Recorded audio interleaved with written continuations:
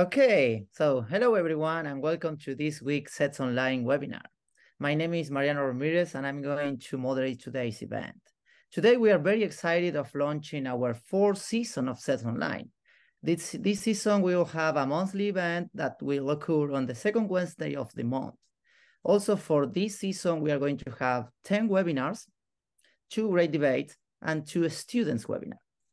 So for students, please sign up for our student webinar, which is gonna be about the difficulties of diagenesis. And before we get started, we would like to thank our sponsorship from the International Association of Sedimentologists, which allow us to offer all these resources free of charge. Make sure and check out our web website for more information about upcoming events and meetings and see everything available for our community. Today's lecture is by Jeanette Lyster from the Department of Geoscience of Pennsylvania State University, also known as Penn State. Jeanette is a postdoctoral scholar at the College of Earth and Mineral Sciences. She got her bachelor and master in science in the University College of London and she got her PhD in the Imperial College of London. Her current research, her current research, sorry, applies novel strategies to reconstruct the morphologies, morphodynamics, and hydrodynamics of ancient rivers, as well as erosion and sediment supply. Her talk today is entitled Constraining the Intermittency of Flows and Sediment Transport in the Geological Past. So, Jeanette, the stage is all yours. Okay, great. Well, thank you very much for that introduction. And thank you for inviting me to talk today. It's nice to be here. Um, so yeah, um, today I'm going to talk about constraining flow and sediment transport in the geological past. Um, oh, let me just check. Um, yeah. Okay, so yeah, so my research is focused on deciphering the stratigraphic record of rivers. And to do this, it's important that we first acknowledge the diverse nature of modern rivers. So here we can see some examples of modern rivers. And as you can probably tell, so these rivers, they have super diverse morphologies. So they vary in terms of their size, their aspect ratio, which is just their width to depth ratio, um, and also their planform morphology, which describes whether rivers are single thread or multi-thread, and also the style of the single thread or multi-thread rivers. Um, they also have very diverse land cover. So floodplains could be vegetated or non-vegetated, and also where they are vegetated, they can vary in the type and abundance of this vegetation. Um, their discharge regime also varies. So some rivers will flow all year round and some only flow for brief periods. Um, there are many other reasons, but the final one I'll just mention is they also vary in terms of their sediment supply. So rivers vary in terms of the amount and the type of sediment that they carry. So, I mean, you can just see here some like variation in just the color, and that's just coming from the type and abundance of sediment. Now, with super diverse modern fluvial landscapes, we should therefore expect diverse fluvial landscapes in the geological past. And this is exactly what we see when we look at the stratigraphic record. So these six images just show a range of different fluvial formations and in case you're not familiar with looking at fluvial stratigraphy, so our channel deposits are usually these coarser, either cliff or ledge forming deposits, whereas our floodplain deposits are usually these much finer hill slope forming sediments. Now, if you get your eye into these images, you should start to be able to pick out how diverse these strata are. So we have a lot of variation in color. So here we have these red floodplain deposits. Here we have this kind of banding um, between red and greys, these kind of tan colors. Um, we also have variation in the ratio of those coarser channel deposits to those finer floodplain deposits. And you can see this nice example here. So in the lower half, we have the Black Hawk Formation, and you can see these little coarse sands peeking out through the hill slope. And then as you pass up section, you get into this kind of big kind of cliff forming coarse channel sand. Um, if I pull the scale bars up, you'll also notice variation in scale. Um, also, I, I realize that I'm creating a false impression that fieldwork is always sun and blue skies. So just to show that it isn't, we have an extra example, um, which is from the Pennant Sandstone in Wales. And I also had a point that I wanted to make here. Um, sometimes when you're working with fluvial stratigraphy, sometimes you only have those coarse channel sands. Sometimes the floodplain deposits are just covered up by modern vegetation. So when we're trying to work with fluvial stratigraphy, we kind of have to work with what we've got. So now, why are we even interested in deciphering fluvial stratigraphy? What can we learn about the past? So from fluvial strata, we can learn about how water and sediment were distributed across Earth's surface in the past. And we can learn about past hydroclimate, so things like discharge regime, precipitation regime. We can also learn about how fluvial landscapes responded to change, for example, changes in climate, land cover, sediment supply, etc. We can learn about past channel floodplain coupling, and we can also learn about pre-vegetation landscape dynamics on Earth, which is then applicable to other planets. Now, the overarching goal of all of this is to build up a picture of how fluvial landscapes evolve, in particular, how these fluvial landscapes evolve on millennial longer time scales, particularly in response to tectonic and climatic forcing. And this brings us to our next question, which is how exactly do we decipher fluvial stratigraphy? So a key point that I want to make here is that we have this sort of process hierarchy in fluvial stratigraphy. So from fluvial strata, we can make observations and interpretations at multiple scales, and these span kind of channel belt scales, intra-channel belt scales, bar form, bed form, and grain scales. And importantly, the processes that we can observe and interpret entirely depends on our scale of observation. For example, if we wanted to understand avulsion frequency and style, we would want to make observations at the channel belt, channel belt scale. Whereas if we wanted to understand processes such as channel reworking, we would need to make observations at the intra-channel belt and bar form scales. Um, now, what I'm particularly interested in and what I'm going to talk about today is understanding flow conditions and sediment transport in the past. And to do this, I need to make observations at the grain scale and bed form scale, but also because I'm specifically interested in working out things like total water discharges and total sediment fluxes, I also need to know what channel geometries were. So I also need to pull in elements from the bar form scale. And this brings me to my research question, which is how can we decipher flow and sediment transport conditions in the geological past? So this is just a little bit of a roadmap of what I'm going to talk about today. So first, I'm going to give you a bit of background on the timescales on which we can investigate flow and sediment transport. I'll then run you through the concept of intermittency factors and how we can estimate intermittency factors in the geological past. And to do that, I'll use the Ferron Sandstone as a case study. Um, and then I'll discuss how we can contextualize intermittency factors using Fashi's observations and how modern observations may or may not help us to constrain intermittency in the geological past. So with interest in constraining flow and sediment transport conditions in the past, we need to consider the timescales on which we can do so.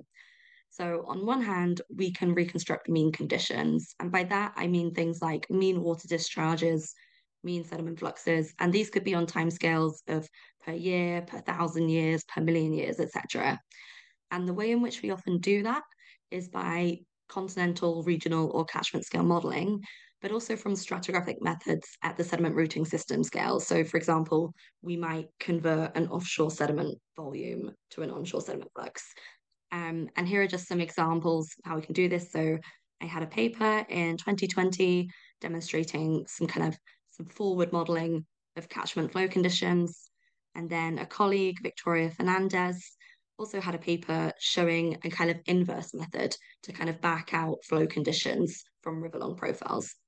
So there's a couple of things we can do to get at those mean flow conditions. Um, we can also reconstruct instantaneous or near instantaneous flow conditions. And by that, I mean things like channel forming water discharges and sediment fluxes. And I just want to flag that by referring to channel forming water discharges, I'm just acknowledging that we don't necessarily know what conditions produce stratigraphy. So channel forming conditions are often taken as bankfull conditions, or flood conditions, but they could feasibly reflect ordinary flow conditions. And just because we don't know, I'm just going to refer to them as channel forming conditions. Whatever they were, they had to be sufficient to produce stratigraphy. And we tend to reconstruct these on timescales of per second, so water discharges in meters cubed per second. And the way in which we do this are those stratigraphic methods, where we make observations at the grain, bed form, and bar form scale, and then we can apply various flow and sediment transport models. Now, what about the in-between timescales? So we can reconstruct mean conditions and instantaneous conditions, but we're often particularly interested in what's in between. And by that, I mean flow variability. So when we're thinking about modern fluvial systems and how they might respond to climate change, we're not necessarily thinking about or paying attention to slight changes in the mean annual discharge. The things that we notice and pay attention to are drastic changes in the kind of the variability of discharge. So how does the distribution of flow change during the year? How do the extremes change? So when we're thinking about the geological past, we would quite like to be able to reconstruct that in between time scale and think about how flow variability changed in response to past climate. And again, thinking about timescales, we have many different timescales of flow variability. And I'm not going to go into this too much, but I just want to acknowledge that flow variability can occur over many timescales. And I just kind of pulled this together, thinking about what are the most useful timescales of flow variability that we need to think about when we're looking at the rock record. And the main ones that I came up with are kind of the annual to annual to decadal variability. So this might reflect trends in water discharge over years to decades that might be associated with climate phenomena such as El Nino, etc. Those kinds of timescales, perhaps they manifest in floodplain deposits, for example. Um, we then also have our kind of seasonal to interannual flow variability, and that typically describes the kind of shape and characteristics of the river hydrograph. And we usually consider the magnitudes and frequencies of discharge events. Um, this, again, if we're thinking about this in the geologic record, we might want to be looking at channel deposits um, at the bar scale, bed form scale. We also have the kind of near instantaneous flow variability, and that describes hydrograph shape and characteristics for individual discharge events. So it might be the shape of a flood hydrograph, the kind of the total duration of the flood event, the ratio of the rising limb to the falling limb, um, where the peak occurs, those kinds of things. And then finally, we would have our instantaneous flow variability, and that would just refer to variability in flow within a channel cross section.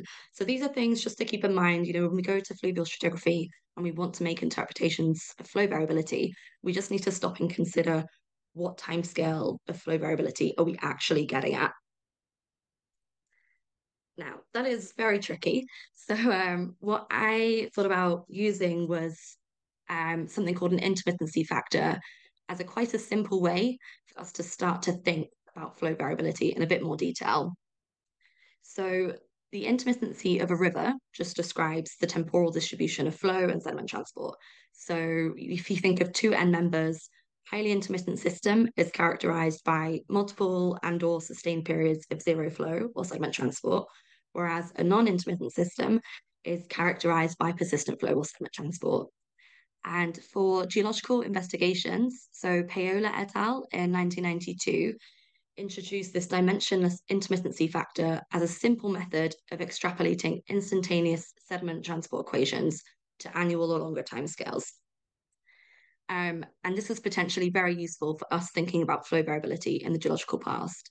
So now this is going to be a little bit of a, a little bit complicated, but I hope I can get you through it. Um, so the intermittency factor is formally defined as the fraction of time in which a constant channel forming flow could transport the same amount of water or sediment as the actual hydrograph transports.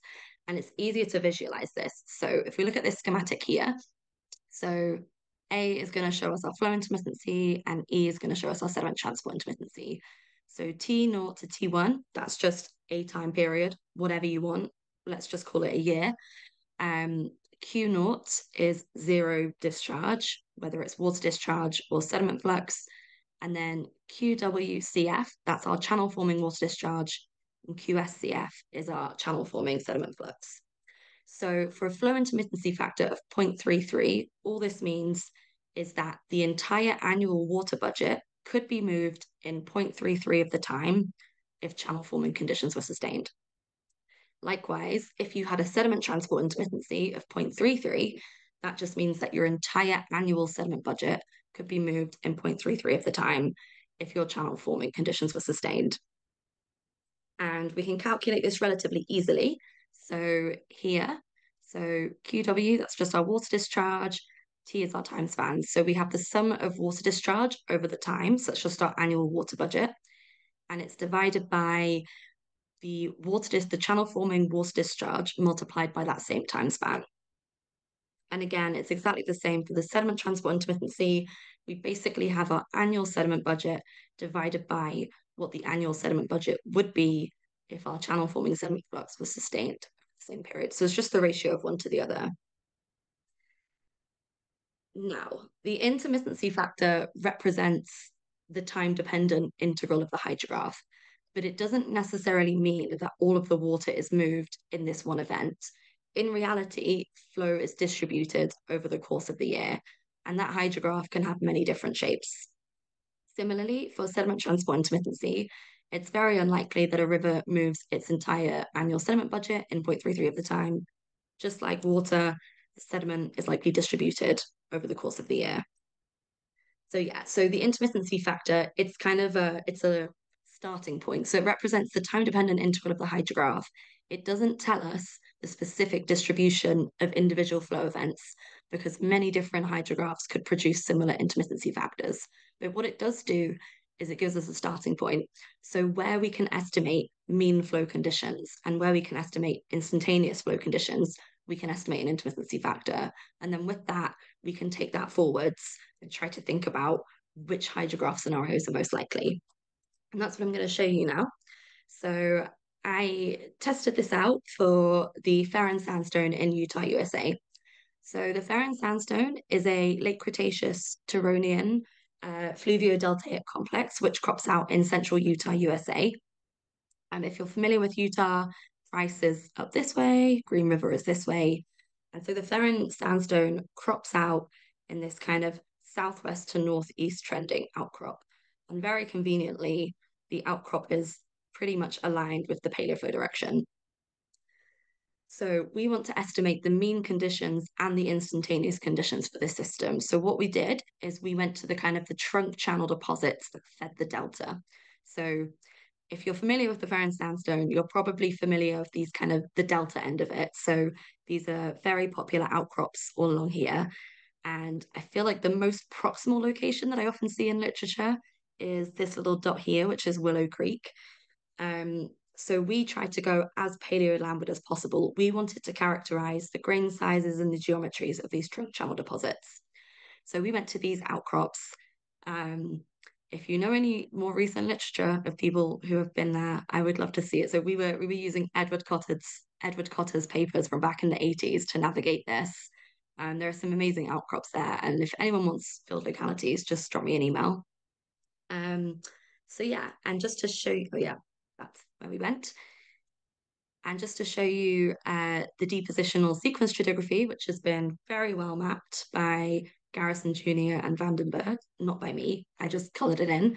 Um, but again, so this is the same outcrop. So we have our kind of southwest to northeast trending outcrop.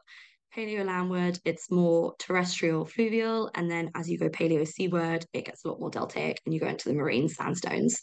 So we were focused up in this area and we were looking at these big trunk channel deposits. In there. Um, so remember to estimate intermittency factors, we need to estimate the mean conditions and also the instantaneous conditions. So first, I'm just going to run you through how we estimated the instantaneous conditions. So we begin with flow depths. Um, so in these trunk channel deposits, where we can find evidence of bars, we can measure their heights and we can take those as proxies for flow depths. So here are just a couple of examples here. Um, so we might take this height, trying to capture the relief on that clinoform surface there. Um, and then again down here, we have some more nice little accreting point bars, and we might take this height here. We then also want to make our kind of bed form and grain scale observations. And so basically, we're trying to characterize the grain sizes of deposits in the channel fill. So often we have to kind of look at the lowermost bar um, where we can't get to the channel fill. And so we characterize the grain sizes of both sand grade sediments and gravel grade sediments. So the majority of channel deposits in the Ferron Sandstone are sand grade, but in quite a lot of places, we had these pebbly lags at the bases of channel fills, which we also characterized. Um, so we consider, so our sand transporting flow conditions are the dominant channel forming condition. And then the gravel transporting flow conditions are the less dominant flow condition, and they potentially reflect the largest discharge events. So once we've made our observations of things like flow depths and also grain sizes, we can start to apply various flow and sediment transport equations to reconstruct the other geometries we need, such as paleoslope, um, but then flow and sediment transport equations um, that we can use to estimate water discharges and sediment fluxes. So there are various established equations that you could use, and these are just examples of some of those. There are many more that you could use. These are probably the most simple in that they require the fewest amount of assumptions about the geological past. But yes, so oh, move this other way.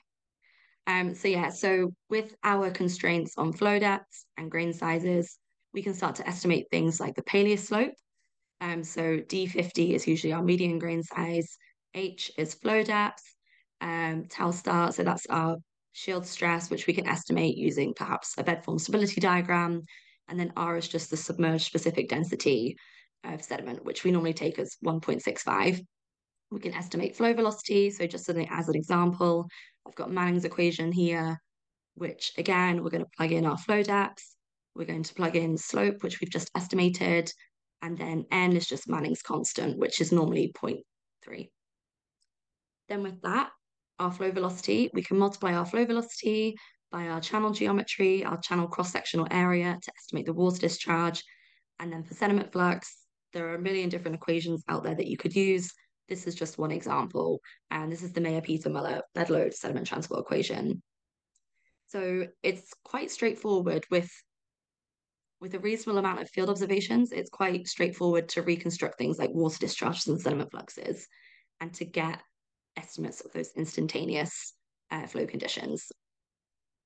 So then we need to derive our mean flow conditions. And to do this, we're actually going to leverage paleoclimate model outputs.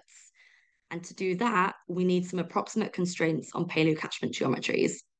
Now, the Ferron's sandstone actually sits on the western margin of the late Cretaceous Western Interior Seaway. Um, if you're not familiar with it, it was a late Cretaceous seaway that basically divided North America in two. So on the western margin, we had the Laramidia landmass, and on the eastern margin, we had the Appalachian landmass. And on this kind of active margin here, we had the Sevier Mountains, um, which were actively uplifting, transporting huge volumes of sediment east towards the West Interior Seaway. And these deposits are all very well studied. Um, and as you can just see here, we have three different paleogeographic reconstructions. Um, so the regional paleogeography is very well understood which enables us to place some approximate constraints on the catchment length, catchment area, and we even have somewhat reasonable understanding of elevations in the Sevier highlands just from paleoaltimetry studies. Um, so we then supplemented this with additional insights into catchment geometries, uh, which came from paleo-digital elevation models. So here, just kind of zooming into our field area in Utah, you can just kind of see here if we have the shoreline of the Western Interior Seaway and the Laramidia drainage divides, that would be the kind of where the Sevier Mountains were at the time. You have a series of these kind of short, steep catchments. And so, with a good idea of the configuration and scale of these catchments, we can bin- begin to explore explore catchment climate using paleoclimate models. So, we used outputs of HADCM3L, uh, which were which is a general circulation model or a GCM. And these were run by Alex Farnsworth, uh, our co author at Bristol University. So HADCM3 is a regularly used climate model. It's often used in the IPCC reports, um, whereas HADCM3L, the L just stands for lower resolution ocean, um, and it's regularly implemented in deep time paleoclimate studies. So we used these. Um, so HADCM3L produces various different climate outputs. The ones that we were particularly interested in were mean annual temperature, mean annual precipitation, and mean precipitation of the wettest month. And with these, we can basically use zonal statistics in something like ArcGIS or in Python to estimate potential catchment averaged temperatures, catchment averaged mean annual pre precipitation, catchment averaged mean precipitation of the wettest month. Once we've done that, we can just make a first order estimate of the mean annual water budget in a catchment just by multiplying the precipitation over the catchment area and then assuming a runoff rainfall ratio, which we left as one to begin with. Um, but then we explored the sensitivity of lowering that later.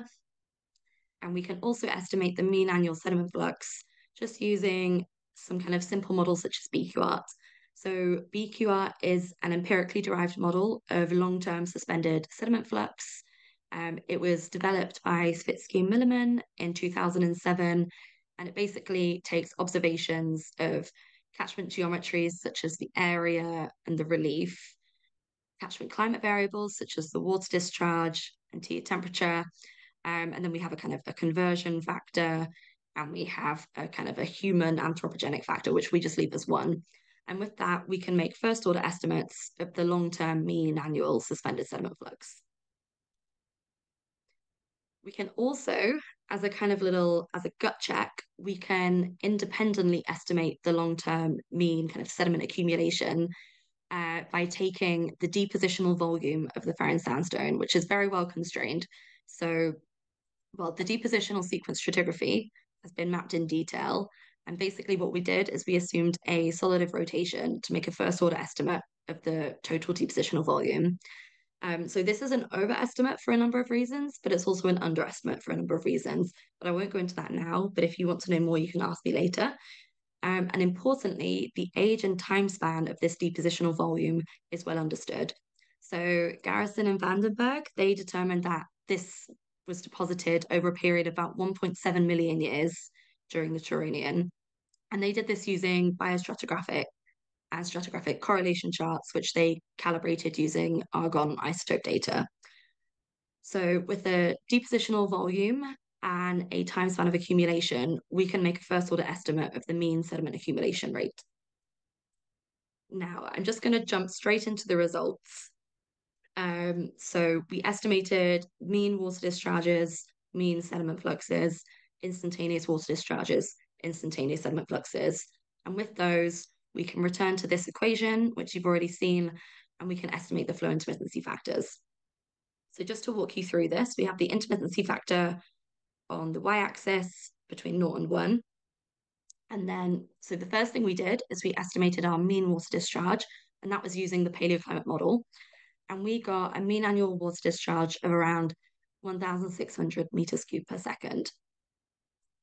With that, we then wanted to look at our instantaneous water discharges. So for our sand grade deposits, we estimated our sand transporting flow conditions, and we got water discharges of around 2,400 meters cubed per second.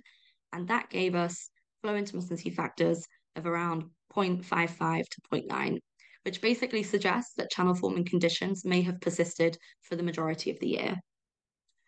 We then took our gravel grade deposits and our gravel transporting flow conditions, which suggested water discharges of around 5,000 meters cubed per second. And using that, we estimated much smaller intermittency factors of around 0.28 to 0.38, which, assuming that gravel transporting flow conditions potentially reflect the largest discharge events, this suggests that those large discharge events may have occupied these river, rivers for three to four months of the year. Um, one final thing that we did, um, which was quite nice just to kind of make the most of the paleoclimate models, is we used the mean precipitation of the wettest months as a proxy for kind of the largest discharge events. And in doing that, we estimated water discharges of around 7,200 meters cube per second. Important to note that that's assuming a runoff rainfall ratio of one. So we would expect that to be lower. And if we do that, we end up estimating even smaller flow intermittency factors getting down to between 0.2, 0.25. Um, so yeah, so we then also estimated our sediment transport intermittency factors. Again, same equation at the top. Approach one was using our B was using the BQArt suspended sediment flux. Um, sorry, no. Approach one was using the preserved depositional volume. So taking our estimates of the instantaneous sediment flux, knowledge of how long it might take to accumulate the total depositional volume, we estimated sediment transport intermittency factors that are basically less than 0.1. So that means that the entire annual budget could be transported in less than a month of the year if need be. Whereas using our second approach, which was the approach where we estimated mean sediment conditions using the BQArt suspended sediment flux model, we got slightly larger sediment transport intermittency factors of kind of 0.1 going up to 0.15, which suggests that the sediment budgets could have been transported in maybe one to two months of the year if channel forming conditions were sustained. And the implication here is that all you would need are a couple extra weeks of channel forming conditions per year to potentially drastically increase the annual sediment budget. I don't want to go into that too much, um, just because I have a slight issue with how we interpret those sediment transport intermittency factors, but I'll come back to that in the discussion. So what we want to do now is now that we've estimated our flow intermittency factors, we want to try and contextualize these numbers with respect to independent insights into hydroclimate at the time, but also facies observations that we can make. So we used outputs of the HADCM3L general circulation model, but we can also have a look in literature to see what other authors using other GCMs predicted. Um, generally, there's consistency. Um, other GCMs point to mean annual precipitations that had similar values of order 1,800 millimeters per year. But importantly, most GCMs point to this area being characterized by a very monsoonal climate. And this is kind of expected due to the proximity of a high elevation mountain uh, to a warm seaway. Now, if we did have a very monsoonal climate, we might interpret our large flow intermittency factors to reflect high magnitude flood events were sustained um, for several weeks, several months of the year, as opposed to high magnitude flood events that had short durations but very high frequencies. We can also pull on facies observations to think about whether we think that scenario is reasonable. Um, so here's just an example of some of the kind of floodplain paleosols that we see. Um, you can see one of these channel deposits up here. Um, so we didn't study the paleosols in detail. We just made observations. But so the Ferron sandstone actually contains three different deltaic complexes. We studied the last chance deltaic complex, but other authors have studied the floodplain deposits in the neighboring Notom Delta and found everything to be quite similar. And in general, these kinds of hydromorphic kind of gleysols, they call them, generally point to kind of moisture rich conditions. Uh, it could be climate related, it could be related to the water table, but in general, it points to these floodplains being waterlogged for the majority of the year.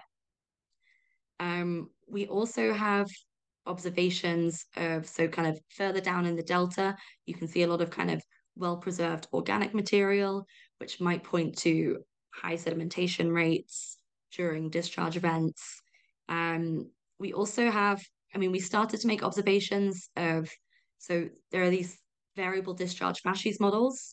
And the idea is that for different discharge regimes, kind of thinking of 2M members, so in a perennial discharge regime, it's expected that you would have certain sedimentary structures um, abundant throughout your channel deposits, whereas in a more kind of subtropical monsoonal discharge regime, you might produce deposits that have other distinctive sedimentary structures.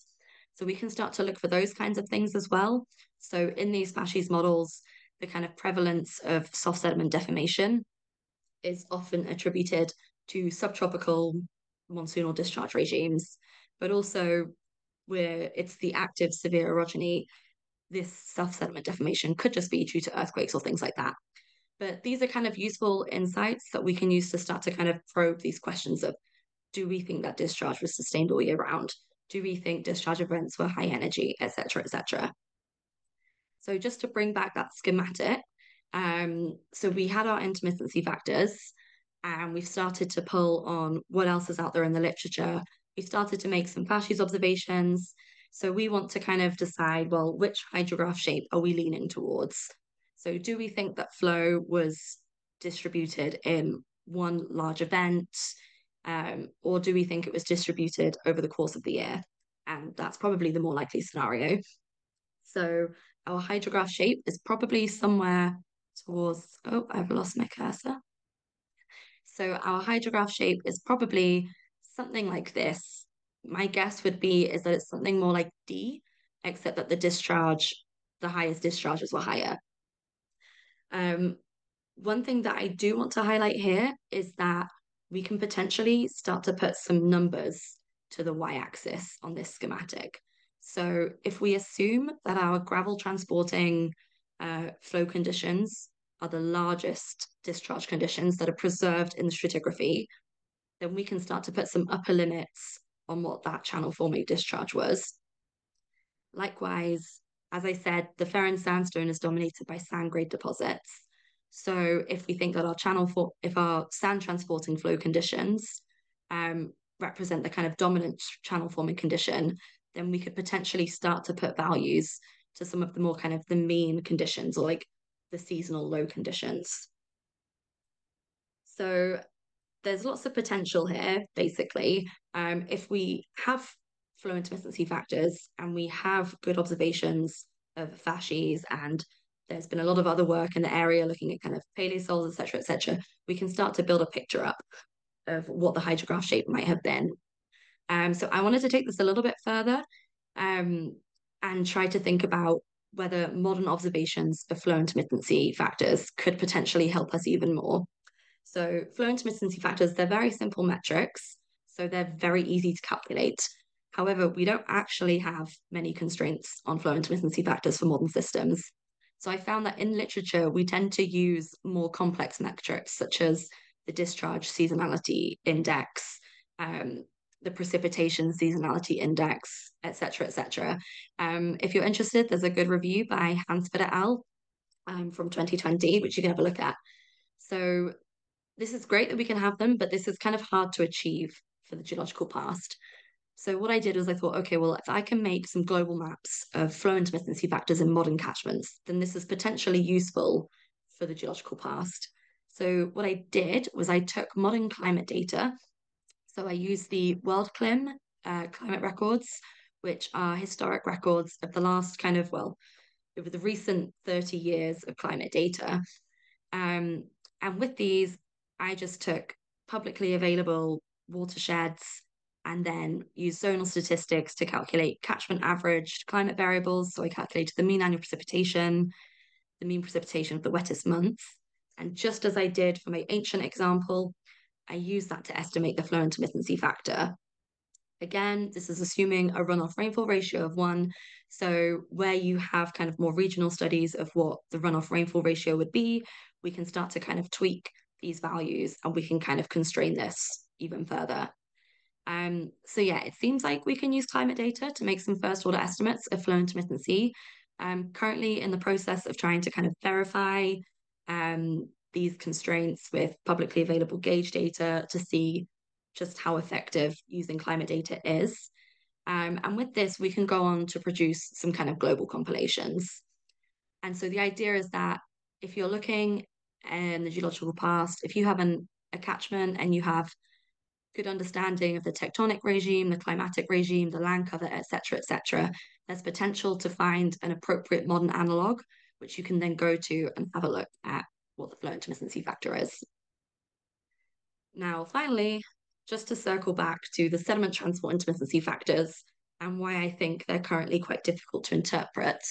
Um, so, well, just first of all, just thinking about sediment transport intermittency in modern catchments, this is potentially a lot more difficult to make global scale estimates of, and we might have to do it on a catchment by catchment approach. Um, however, importantly, it's also difficult to interpret sediment transport intermittency. And I'm going to try and convey this using an analogy, which I have never tried before. So I might do this once and then I might never do it again. Um, so what we're going to do is we're going to pretend, so this is our same schematic, T naught to T1 is time, so our flow intermittency is now the intermittency of me drinking water. So over the course of a year, you have the amount of water that I drink. You know, if I'm being good, I have eight glasses a day. Um, but I have a capacity. So over the course of a year, I drink various amounts of water and I can estimate the intermittency factor of my water consumption, which is probably about 0.7. So I think that's quite good. And the point I want to make here is that there's a climate signal there. I drink more water in the summer months and less water in the winter months. That's fine. We're happy with the flow intermittency factor. However, for the sediment transport intermittency, my analogy is going to be my tea consumption. So again, here we have my consumption of tea over the course of the year. Um, I drink less tea in the summer, but more tea in the winter. Um, so again, there is a climate signal. I hypothetically drink more tea in the winter, and I can estimate the intermittency factor of my tea consumption, which is 0.44. So importantly, it's important to note that the tea intermittency is lower than my water intermittency. And we also expect this for flow intermittency and sediment transport intermittency. We expect that our sediment transport intermittency should be lower. If our sediment transport intermittency is higher, this is probably pointing towards some kind of debris flow dominated system where flow is just super saturated with sediment. Now, hypothetically, we can estimate our tea intermittency factors, and we can potentially use this to try and get at what could kind of what was the climate signal, how was my tea consumption distributed in time. However, the issue with this is supply, and this is the exact same for modern systems. So I might not have access to tea for whatever reason. It could be that I just moved to America and I can't get hold of my Yorkshire tea bags. So I have to wait till I go home at Christmas. Or maybe my kettle's broken. I don't know. For whatever reason, I might not have access to tea. And this is the exact same as sediment in modern systems. Our sediment transport intermittency factor assumes that our system is transport limited, whereas in actual fact, it's likely to be supply limited. Maybe we don't, we're not eroding material in the source region. Maybe we have dams upstream. Supply could be limited for many reasons. And what this acts to do is it acts to lower our estimated sediment transport intermittency factor. So while the actual tea intermittency factor might be 0.44, when you take into account the effect of supply, it drops down and it could be something lower, so such as 0.2. So it would be great if we could estimate modern sediment transport intermittency factors and use them to help understand the past, because there is potentially a climate signal in there that we could um, leverage and use to learn more. However, we need to figure out how we're going to de- deal with the supply issue, how we're going to figure out whether or not we can account for it. Um, so that's something that we're thinking about now and we're trying to take further. So just to end there, so I guess the main points I wanted to make is that assuming an intermittency factor is crucial to kind of jump from instantaneous conditions to mean conditions and vice versa. Um, and where we can calculate the intermittency factor, we suddenly have the potential to explore that in between time scale. So, how flow and sediment transport is distributed in time. Um, exploring that in between time scale requires coupling of qualitative insights, such as facies observations, um, with quantitative insights such as facies measurements and the application of flow and sediment transport models. And finally, I guess modern observations may help with this. Um, I think modern observations of flow intermittency will help, but I'm currently not sure about sediment transport intermittency. Uh, but this is something that we're actively working on and we're hoping to take forwards. So yeah, if you want to know more, um, this paper was published a week or two ago in GSA Bulletin. So there's a lot more info in there. And if you have any questions, feel free to drop me an email or get in touch. But that's everything from me. Wonderful, wonderful, wonderful, wonderful. Thank you very much, Sinead. It was super, super, super cool talk. I love the the analogy with the tea and water consumption, definitely. so now we are open to questions. Please write your question in the chat and then be sure to send it to everyone. Also, please remember to write your name and where are you watching at. So, but I have a question first, you know. Um, I was thinking you show um this super cool uh, integration of the flow intermittency across the world, and I was thinking on the modern analogs. Actually, I was thinking like, what do you think would be a, a good analog for the example that you show from Utah? I mean, from a mon modern monsoonal system. Um. So I would. So just given I would kind of think of some of the rivers draining the Himalayas in terms of the kind of thinking of the kind of tectonic regime, but also the kind of monsoonal climate. I would lean towards those. Um, it would be nice to have intermittency estimates uh, for those rivers to compare them with, but did not at the time. Um, I think there are very few constraints on modern sediment transport intermittency factors in literature. I think one of the main ones that um, I often come across is the Mississippi River. So, well, this paper is a decade old now, but um, at the time, uh, the intermittence, the sediment transport intermittency factor of the Mississippi was calculated as 0.33. So this is the Mississippi, you know, we're thinking it's it's moving water and sediment all year round, but it has an intermittency factor of 0.33, which was um, larger than what we have for the Ferron. But yeah, ideally, we would have more constraints in modern systems with which to compare, because that helps our understanding of ancient systems when we do that. Right. So we have some questions from the people in the chat. So hi, Sinead, very nice talk. Thank you. I am interested in the quantification of the errors in your estimate. Several parameters that you estimate probably come with large error bounds. To, for example, Turonian precipitation from the climate model, Manning factor, shear stress, flow velocity, sediment volume estimations, geochronology of the sediments. However, some of your intermittency have a pretty low range. Can you propagate the errors of the parameter used in these inter in, sorry, in these interfactor estimations? This is from Anne Bernhardt from University of Berlin. Yeah, thanks for that question, Anne. Yeah, that's um that's a very good point. there is a lot of uncertainty in most of the parameters that we require to estimate our intermittency factors. Um, so what we do, so just for for the instantaneous uh, conditions, so we're taking our field observations, you know, if we've measured grain sizes, flow depths, etc., etc., in the field, from those measurements, we might have a mean and a standard deviation. And we took that range and we propagated that range through. Um, then in terms of the parameters such as, so when we're trying to estimate things like flow velocity, paleoslope, water discharges, sediment fluxes, etc., etc., a lot of those equations, um, I guess especially where they, they are empirically derived, uh, the constants, they usually report a mean and a standard deviation, um, or some other kind of uncertainty might be flagged in the text. And again, what we did there was we took that kind of whole range into account and we kind of propagated that through. Um, if you're so that's when I present a range in values, I'm presenting the range that comes from propagating a spread of plausible values through the workflow.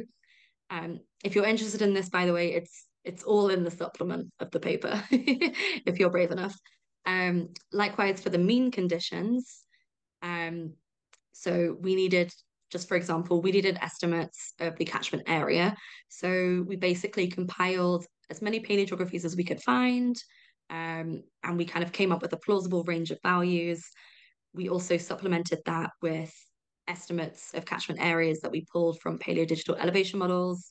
Again, we came up with a range of values, we put that through. Same for the relief, same for the temperature precipitation. So everything had a range of values. Um, I guess the goal is to try and narrow that uncertainty as best as possible. I don't know the extent to which we can do that. I feel like when we're dealing with when we're dealing with instantaneous flow and sediment transport equations, my impression is that uncertainties in Manning's N or various constants in a paleoslope equation, those uncertainties are insignificant relative to the uncertainties in the flow depth and the flow width. So my impression is for minimizing uncertainty with those estimates, your best bet is to try and get really accurate constraints on what your channel geometries were, because those are going to determine the order of magnitude of your results. Whereas for mean conditions, it's it's a first order estimate. I I don't think we can narrow down what catchment areas were, what catchment relief was. I think we just have to accept that what we have is a first order estimate. Um, I hope that answered that question. I did just ramble a bit. Uh, it was it was a very comprehensive answer, I would say. thank you. Yeah, answer. Thank you, and he did it. So we have another question from Ellen Chamberlain from Bucknell University, so your neighbor. Um, so Helen said, how does the uncer uncertainty compare between the instantaneous measurements and the mean for ancient? I think that's kind of similar. Yeah, so I guess so. I think the uncertainties are much larger for the mean conditions. Um, so for the for the instantaneous conditions, we're quite confident on the flow depth estimates. Um, flow widths have been reported in literature. So for the for the trunk channels of the Ferron sandstone, they've been kind of put as around 250 meters. So we allowed for 200 to 300 meters just to be safe. Um, but generally, the geometries are quite well constrained, and everyone is pretty happy that that is a single thread meandering trunk channel. Like it's not a braided system where we have to consider the geometries of not well, not only how many active threads we have, but also the geometries of those. So I think that we're quite content that the uncertainties and errors that would come from those instantaneous estimates are a lot narrower than the uncertainties that come from the mean conditions. Um, I, I don't know if anyone remembers, but I did show a picture of um, some of the gravel grade sediments. Um, so traditionally in literature, um, the Ferron sandstone was entirely sourced from the Sevier Highlands. Um, for different time slices in the late Cretaceous, people have alluded to possibly some like sourcing at times coming from the south, maybe even like the magmatic uh, kind of Cordillera. Um, we, when we were looking at those pebbly lags, um, we were doing Wolman counts, measuring the gravel fraction. There was basalt in there. There was a lot of basalt. That was not coming from the Sevier. that was coming from somewhere further south. So we, yeah, we were very generous with our range for catchment area, knowing that the catchment area at times could have been a lot larger. So yeah, if any if anyone out there can do provenance, yeah, we would like to know. I, I also like having the approach from sink to source is also great. You have like the the estimation of the catchment area too. Um, yeah. okay, we have another question from Jim Hickey from Dallas, Texas. James says, "Very good talk, thanks. Are these additional challenges in calibrating mean and instantaneous flow conditions in a pre-vegetation system where channel forming flow may be more difficult to recognize? Yeah, so I think, I guess so. In a pre-vegetation system, regardless of what you have, so regardless of what channel deposit you have, whatever produced that deposit must have been a channel forming flow. We might not know exactly what the flow condition was. We might not know if it was a bankfull flow, a flood, or just ordinary flow. But just by the presence of channel deposits, a channel forming flow had to produce them. Um, I think one of the issues with pre-vegetation systems um, will come down to kind of you, you could feasibly estimate an intermittency factor. But then when you're looking at facies observations, uh, when you're making facies observations to try and contextualize your intermittency factors, that's where you may run into issues. Um, you like pre-vegetation floodplains are going to look very different to post-vegetation floodplains. We don't necessarily know what they look like. Um, so it might be trickier to try and figure out, okay, what was the land cover like? How well drained were the floodplains? I think that's where we might run into issues. Um, but yeah, other than that, I'm not sure. What I guess the other issues would be if you're applying flow and sediment transport equations to pre-vegetation fluvial strata, like if those were empirically derived flow and sediment transport equations, then they were probably derived from modern systems, which are the majority like vegetated. So just as an example, there's a paleoslope equation uh, by Trampush et al. from 2014. Um, that's an empirically derived equation based on, I think, over 500 observations of modern rivers. Um, again, most of those are probably going to be vegetated, so that would raise questions as to the extent to which you might want to apply that empirical equation to pre-vegetation fluvial strata. But yeah, it's a pending research question. Very cool. Uh, we have another question from Jacob Bass from Wales. Jacob said, thanks. I'm curious, how do you estimate the shear stress, shear stress in the slope angle equation since grain size only gives a critical shear stress? So, um, so what we did, so I just gave that equation as an example. Um, but in the paper, we did use uh, the Trampush slope equation. But yeah, so if you were to use that, so what I have done before is I've estimated. So if you just take a bed form stability diagram, you can look for a given grain size. So you can make observations of the sedimentary structures that are present in your channel deposit. So usually it was dunes cross bedding, uh, so dune scale cross bedding. So we can look at the range of shear stresses um, under which dunes are stable. And that's something that we can then use to propagate in. Um, there are various empirical equations to estimate what the critical shear stress is.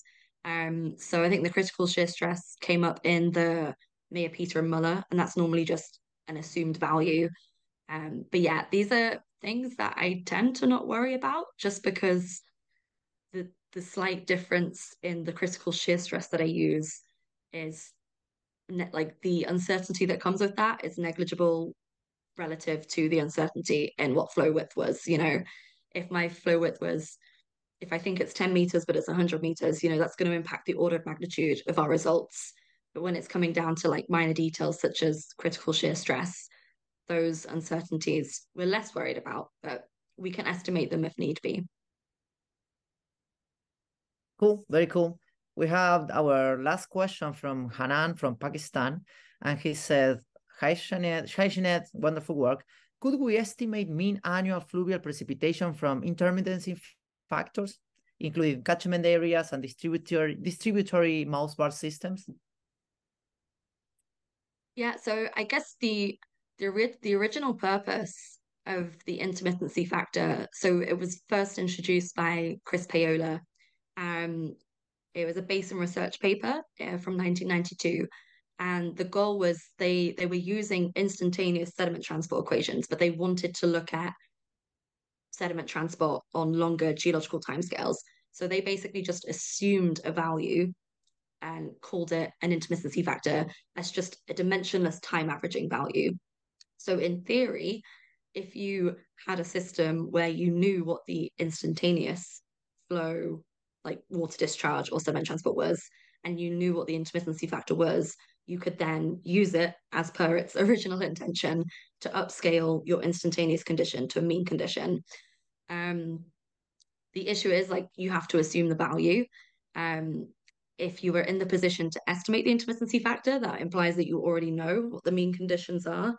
Um, so I guess it's for something like so I did this for the last chance Ferron Delta in the Ferron Sandstone. So maybe other researchers who are working on the other Ferron deltas, such as the Notom delta, maybe they could take these intermittency factors to upscale estimates of water discharge to mean annual water discharge for those adjacent ones, just kind of making the assumption that, you know, it's a similar setting, similar climate, that kind of thing. So in theory, yes, you can. Very cool. Very cool. Thank you very much, Sinead. That was a wonderful kickoff for our fourth season of Seds Online. So we are we were really really happy to have you today.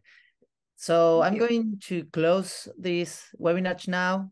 Thank you again, Sinead. And please remind, um, I would like to remind you that if you are a master student or a PhD student working on diagenesis, please sign up for our upcoming Seds Online student webinar, which is going to be about the difficulties on of diagenesis. So thank you all for attending to this very interesting talk today. And thank you so much, Sinead, for being here today.